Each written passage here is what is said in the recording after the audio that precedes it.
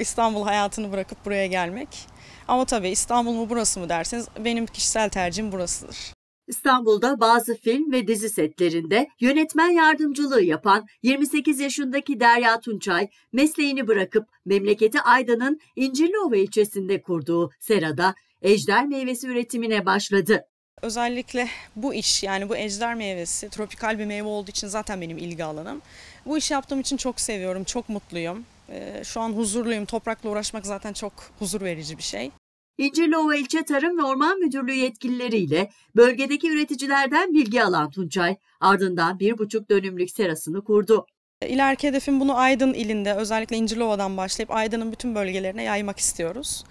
Ee, İleriki hedefim bir kadın olarak, bir kadın girişimci olarak hem benden sonra gelen e, girişimci çiftçilerimize örnek olmak istiyorum. Özellikle kadınlar örnek olmak istiyorum. Anne Naciye Tunçay da kızına verdiği bu kararda hem destek oldu hem de yardımcı. Elimden geldiği kadar sağlığım el verdiği sürece arkasında destek olmayı da devam edeceğim. Güveniyorum. İyi bir yerlere geleceğine inanıyorum şu anda gördüğüm kadarıyla. Burada çok titiz her şey izin almak zorundayım burada bir şey yaparken.